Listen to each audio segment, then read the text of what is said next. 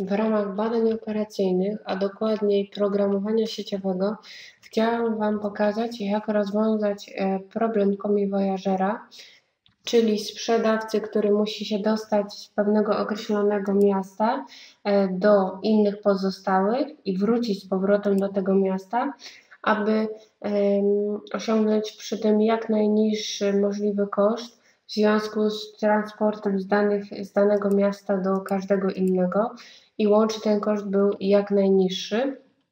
Tym razem nie wykorzystam e, drzewka decyzyjnego i algorytmów programowania dynamicznego, a typowe e, wyliczenia, e, powiedzmy na podstawie tablic. Nie będziemy żadnego drzewka, jak mówiłam, rysować. Zaczynamy od tego, że musi być ustalona macierz kosztów w związku z przeniesieniem się z danego miasta do innego miasta. Tutaj są wypisane te koszty. Wiadomo, że e, tych wartości tutaj na głównej przekątnej nie, nie, można powiedzieć nie uzupełniamy, bo nie interesuje nas pozostanie w mieście, tylko przeniesienie się z danego miasta do innego miasta.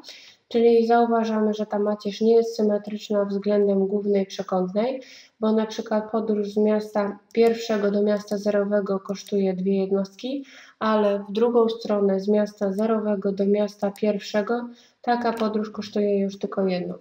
Z tego co widziałam, to y, takie koszty są związane głównie y, powiedzmy w rzeczywistości z cenami biletów lotniczych. Może w innych przykładach znajdziecie y, inne zastosowanie. Na pewno musimy zauważyć, że możliwe fragmenty trasy między tymi czterema miastami to jest albo to, że w ogóle nie ma żadnego miasta, które dotychczas odwiedziliśmy. Możemy odwiedzić tylko miasto pierwsze lub drugie lub trzecie. Możemy odwiedzić na przykład y, dotychczas na jakimś etapie dwa miasta, na przykład pierwsze i drugie, albo drugie i trzecie, albo tylko pierwsze i trzecie. Ewentualnie dotychczasowymi miastami, które odwiedziliśmy, może być każde z tych miast 1, 2, 3. Czyli tutaj mamy rozpisane, jak ja to mówię, fragmenty dotychczasowych odwiedzonych miejsc. I teraz my bierzemy pod uwagę, że naszym miastem startowym będzie niech tutaj to miasto zerowe i do tego miasta zawsze wrócimy.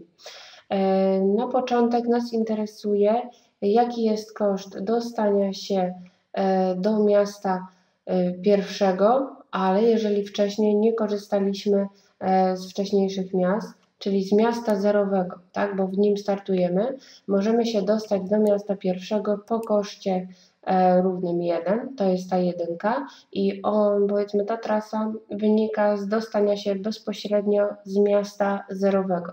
Tutaj tym elementem M0, M1, 2, 3 będę oznakowała miasto, e, z którego powiedzmy wynika bezpośrednio ten koszt.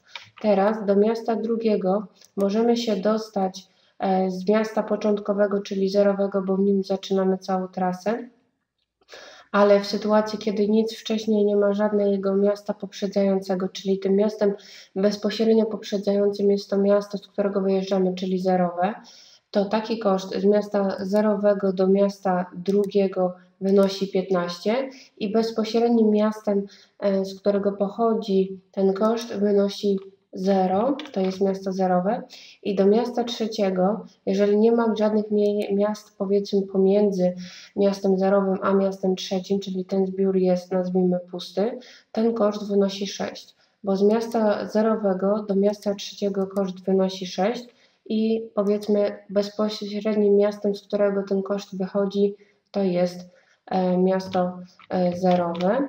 Teraz uważajmy na to, co się dzieje, jeżeli na pewno gdzieś wcześniej odwiedziliśmy samo miasto pierwsze. Miasto pierwsze, e, zróbmy tak, czyli tak, jeżeli już mm, nazwijmy w ten sposób, miasto pierwsze e, już gdzieś odwiedziliśmy, to możemy e, obecnie do, być w mieście drugim. Czyli koszt e, dostania się z tego miasta, które ostatnio odwiedziliśmy, czyli miasto pierwsze do miasta drugiego, to jest koszt 1,2, czyli mm, powiedzmy koszt e, dostania się z miasta pierwszego do miasta drugiego. czyli z miasta pierwszego do miasta drugiego koszt wynosi 7. I teraz nas interesuje, jaki był koszt na etapie wcześniejszym dostania się do tego miasta pierwszego. A że e, powiedzmy już miasta poprzedzające, które odwiedziliśmy, to miasto pierwsze, to bierzemy pod uwagę to, że do miasta pierwszego dostaliśmy się z miasta zerowego, ale nic pomiędzy tym miastem pierwszym a zerowym nie było, dlatego to jest jeden i tutaj jest zbiór pusty, czyli koszt y, miasta, y, transportu z miasta pierwszego do drugiego to jest 7 i y, ile to wynosi? Wynosi 1. Możemy to przeczytać powiedzmy z poprzedniego etapu i teraz Tutaj zaznaczymy sobie, że ten łączny koszt dostania się do miasta drugiego, gdy odwiedziliśmy miasto pierwsze, wynosi 8 i to jest E, bezpośrednio koszt wynikający z tego, że my odwiedziliśmy przed chwilą, przed miastem drugim, miasto pierwsze. Teraz, jeżeli wcześniej odwiedziliśmy miasto pierwsze, to możemy być ewentualnie w mieście trzecim. Czyli nas interesuje koszt transportu z tego miasta pierwszego do miasta trzeciego, bo tylko taka jest możliwość, e, jeżeli poprzedzaliśmy miasto pierwsze. I jeżeli przyjechaliśmy z miasta pierwszego, to, e, a tutaj e, odwiedziliśmy tylko miasto pierwsze, to mogliśmy z tego miasta pierwszego dostać się tylko z miasta zerowego, czyli nic nie było pomiędzy na trasach, czyli koszt 1,3 1,3 wynosi 3 i e, ten koszt związany z przyjazdem do miasta pierwszego, ale bez żadnych miast pomiędzy na trasie, oczywiście z miasta zerowego, wynosi 1, czyli łączny koszt dostania się do miasta trzeciego przez miasto pierwsze, to jest 3 plus 1, czyli 4 i my się dostaliśmy do tego miasta trzeciego e, przez miasto pierwsze, jako powiedzmy ostatnio odwiedzone. Teraz rozważmy, co by było, gdybyśmy się dostali, e, powiedzmy przejechali przez miasto zerowe i teraz kolejnym miastem na trasie byłoby drugie. Moglibyśmy w tym momencie dojechać E, tylko do miasta albo pierwszego, albo trzeciego. Czyli było 0, 2 i zostaje nam miasto pierwsze i trzecie. Czyli tak, koszt dostania się do miasta pierwszego przez miasto trzecie, oczywiście wiadomo jeszcze wcześniej przez zerowe, to jest koszt transportu z miasta drugiego do pierwszego, czyli z drugiego do pierwszego wynosi 6 i jaki jest koszt, dodajemy do tego, optymalny dostanie się do miasta drugiego, e, tutaj z wykreśleniem tego miasta drugiego, czyli e, przy założeniu, że żadne miasto nie pośredniczyło między miastem drugim a zerowym. Między drugim a zerowym e, bez pośrednictwa mamy koszt 15 i w tym momencie łącznie 6 plus 15 daje 21 i do tego miasta pierwszego dostaliśmy się bezpośrednio z miasta drugiego. Teraz, jeżeli przejeżdżaliśmy już gdzieś po drodze przez miasto drugie, a dojechaliśmy do miasta trzeciego, to wynika, że musieliśmy mm, powiedzmy przejechać e, z miasta drugiego do trzeciego, bo tylko taka jest możliwość bezpośrednio. Z drugiego do trzeciego koszt wynosi 12 i jeżeli e, powiedzmy skąd się wzięliśmy w tym mieście drugim, nie ma możliwości, e, żeby jeszcze jakieś miasto było po drodze, bo z miasta drugiego dostaliśmy się do trzeciego, a z drugiego nie było innej opcji, więc jest to koszt z miasta drugiego bez pośrednictwa z miastem zerowym, czyli to jest koszt z powrotem, tak jak przed chwilą było 15, czyli 12 i 15 daje 27, czyli do miasta trzeciego dostaliśmy się bezpośrednio z miasta drugiego. Teraz analogicznie robimy tak, czyli było miasto 0, potem bierzemy pod uwagę, że kolejnym miastem było miasto trzecie, czyli istnieje opcja tylko dostania się do miasta trzeciego jako w kolejnej kolejności lub do miasta e, drugiego, odwiedzając wcześniej to miasto trzecie. Czyli tak, jaki jest koszt dostania się do miasta pierwszego, jeżeli wcześniej byliśmy tylko w mieście trzecim? Czyli musieliśmy jechać przez miasto trzecie do pierwszego, czyli z trzeciego do pierwszego koszt wynosi 4. I jaki jest koszt dostania się do miasta trzeciego, jeżeli nie odwiedzaliśmy już wcześniej, no bo tu tylko jechaliśmy już przez trzecie, um, czyli nie ma żadnego pośrednictwa z miastem zerowym, czyli w tym momencie tu jest 3 z miastem zerowym, nic wcześniej nie było, koszt wynosi 6, czyli 4 plus 6 daje 10 i do miasta pierwszego dostaliśmy się bezpośrednio z miasta trzeciego. Jeżeli jechaliśmy przez miasto trzecie i dojechaliśmy do miasta drugiego, to musieliśmy jechać e, po koszcie 3,2, czyli jechaliśmy z miasta trzeciego do miasta drugiego po koszcie równym 8 i e, interesuje nas w tym momencie, jaki był koszt dostania się do miasta trzeciego, jeżeli nic pomiędzy nie było miastem trzecim a zerowym, czyli tutaj to jest 6, czyli 8 plus 6, 14, czyli do miasta drugiego e, dostaliśmy się e, z miasta trzeciego, poprzedzając powiedzmy miasto trzecie, po koszcie równym 14 i ostatnim tym miastem, które było przed miastem drugim, było miasto trzecie. Teraz się ewentualnie sytuacja komplikuje, jeżeli rozważamy, że już odwiedziliśmy na przykład dwa miasta, czyli na przykład pierwsze i drugie, czyli jest ewentualnie tylko możliwość odwiedzenia miasta trzeciego. I odwiedzenie miasta trzeciego e, można e, powiedzmy dostać się albo bezpośrednio w ostatnim kroku z miasta pierwszego, albo z miasta trzeciego. I my wybieramy e, taką podróż, w której mm, powiedzmy ten koszt przyjazdu będzie z ostatniego miasta i wcześniejszych niższy. Czyli tak, z miasta trzeciego możemy się dostać z miasta drugiego, czyli tutaj interesuje nas niższa wartość między kosztem transportu z miasta drugiego do miasta trzeciego i jaki jest koszt z miasta drugiego, dostania się do miasta drugiego, ale przez pozostałe miasto z tego dwuelementowego zbioru, czyli z miasta pierwszego. I z macierzy tamtych kosztów czytamy, że koszt e, dostania się z drugiego do trzeciego miasta będzie wynosił 12, a z poprzednich tabelek widać, e, że koszt dostania się do miasta drugiego z miasta pierwszego, e, czyli tutaj, wynosi 8, ten koszt przepisuje i 12 plus 8 wynosi 20. Ewentualnie do miasta trzeciego można się dostać z miasta pierwszego jako ostatniego przed miastem trzecim, czyli interesuje nas koszt dostania się z miasta pierwszego do miasta trzeciego, ale zwiększony o koszt dostania się do miasta trzeciego przez wcześniejsze tutaj pozostałe miasto, którego nie braliśmy pod uwagę, czyli miasta drugiego. I z tamtą tabelką można pracować i widzimy, że koszt powiedzmy na trasie 1-3, czyli z miasta e, pierwszego do miasta trzeciego wynosi 3, to przypisujemy i koszt dostania się do miasta wcześniejszego które tutaj w tej przed miastem trzecim było, ale tylko już przez miasto drugie, czytamy sobie z naszej tabelki, wynosi 21, czyli wynosi łączny ten koszt na trasie do miasta trzeciego przez miasto pierwsze i jeszcze przez drugie do zerowego, czy z zerowego wynosi 24. Niższy koszt, który nas interesuje, wynosi 20 i zapisujemy, że to było możliwość transportu bezpośrednio z miasta drugiego. Dlaczego? Bo to brało się stąd, że 12 było na trasie od drugiego do trzeciego miasta i koszt z tego drugiego dostania się do drugiego miasta przez miasto pierwsze, czyli tutaj możemy zapisać, że to jest ta dwójka, bo ona się brała z tego wariantu powyżej. Ewentualnie, jeżeli powiedzmy odwiedziliśmy miasto drugie i trzecie, to było tylko pierwsze i trzecie, bierzemy analogicznie. Jeżeli było już na trasie miasto drugie i trzecie, możemy tylko dojechać przy trzech miastach branych pod uwagę już tylko do miasta pierwszego.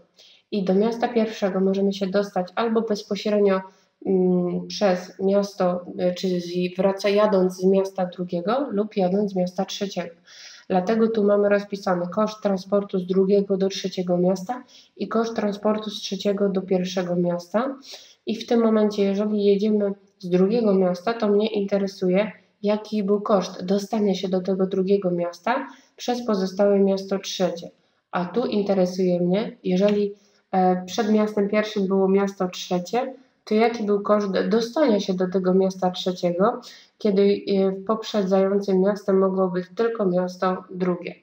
Czyli bierzemy z macierzy kosztów te koszty bezpośrednie transportu z drugiego i trzeciego miasta do miasta pierwszego i dodajemy 2, 3, czyli ten wynik, a tutaj jest 3, 2, czyli musimy iść wcześniej, tu jest 3, 2 równe 27 i bierzemy taką trasę, która nam generuje niższy koszt, yy, czyli to jest 20, a 31, czyli ten wynik jest niższy, czyli czytamy to w ten sposób, że do miasta pierwszego musimy się dostać z miasta drugiego jako ostatnio odwiedzonego, a jeszcze przed nim było miasto trzecie, czyli piszemy tutaj, że było to ostatnim miastem odwiedzonym mm, przed tym miastem pierwszym miasto drugie. A teraz y, ostatni wariant, kiedy odwiedziliśmy dwa miasta, to jeżeli już byliśmy w mieście pierwszym i trzecim, zostaje nam tylko możliwość odwiedzenia miasta drugiego, czyli do miasta drugiego możemy się dostać z miasta pierwszego bezpośrednio, albo tylko z miasta trzeciego. Czyli mamy albo z pierwszego do drugiego koszt, albo z trzeciego do drugiego. Jeżeli jechaliśmy z miasta pierwszego, to jaki jest koszt dostania się do miasta trzecie, pierwszego przez miasto trzecie?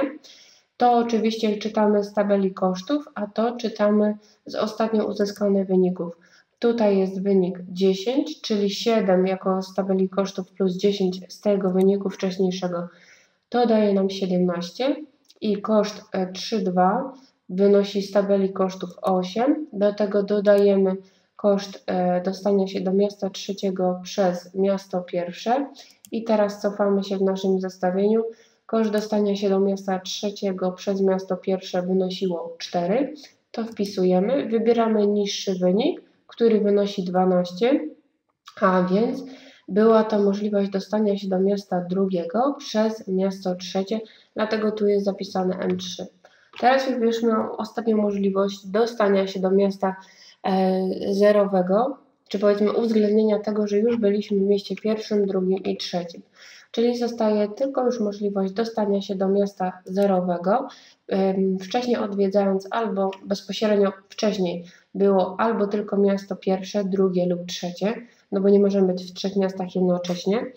Czyli bierzemy taką trasę dostania się do miasta zerowego albo bezpośrednio przez miasto pierwsze, e, czy ostatni, ostatnim miastem było miasto pierwsze, drugie lub trzecie, czyli interesuje nas koszt dostania się przez, z miasta pierwszego do zerowego, z miasta drugiego do zerowego lub z miasta trzeciego do zerowego i koszt dostania się do tego miasta wcześniejszego z wykorzystaniem tych miast wcześniej, wcześniejszych, które musiały być gdzieś tam po drodze ustalone.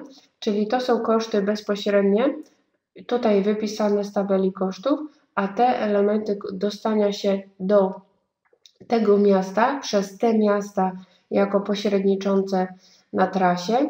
Mamy wypisane z wcześniejszych elementów. Przeczytajmy 1 przez 2, 3 tutaj wynosi 20.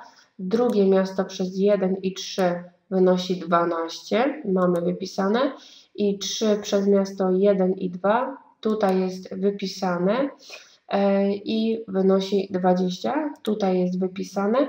Mamy te minimalne wartości E, do wyznaczenia, która z tych wartości jest niższa, wynosi najniższa 21 i najniższa równa 21 wynika z tego, że jechaliśmy do tego miasta zerowego, ale bezpośrednio z miasta drugiego. Dlatego tu jest zaznaczone miasto drugie.